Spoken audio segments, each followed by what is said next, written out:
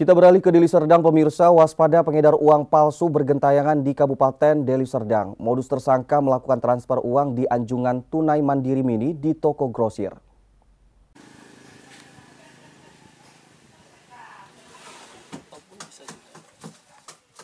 Rekaman CCTV memperlihatkan aksi tersangka pengedar uang palsu yang tengah beraksi di toko Aisyah di Dusun 3, Desa Nagarejo, Kecamatan Tanjung Rawa, Kabupaten Deli Serdang. Terlihat tersangka berjumlah dua orang mengendarai sepeda motor masuk ke parkiran toko dan satu tersangka masuk ke dalam toko untuk melancarkan aksinya.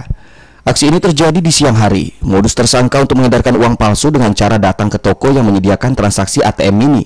Tersangka melakukan transfer uang dengan menyerahkan uang palsu pecahan Rp100.000 dan pecahan Rp50.000 yang berjumlah Rp1.500.000. Namun pemilik toko mengetahui gelagat tersangka yang mencurigakan dan melihat kondisi uang yang hendak ditransfer adalah uang palsu. Saat ditanyakan uang ini asli atau palsu, tersangka langsung kabur. Pemilik toko Kismanto mengatakan sebelumnya ia pernah mendapatkan uang palsu. Tersangka melakukan transaksi jual beli di toko ini kondisi uang itu gimana sih Pak? Bisa Bapak mengetahui itu uh, diduga itu uang palsu gimana Pak?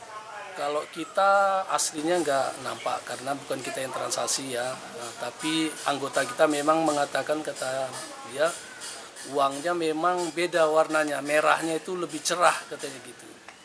Nah, itu kalau aslinya memang bukan kita, kita tahu karena ada info dari kawan, lantas kita hand telepon anggota kita yang kerja, kita minta suruh periksa coba periksa itu uangnya kemungkinan palsu kan gitu kan nah, lantas pelaku karena dengar di lospek sama anggota langsung takutan dia pecahannya berapa aja kira-kira? pecahannya dia 50 sama 10 eh sama 100 ribu Atas kejadian ini, pemilik toko nyaris mengalami kerugian sebesar Rp1.500.000. Dari Deli Serdang, Amiruddin, iNews, laporkan.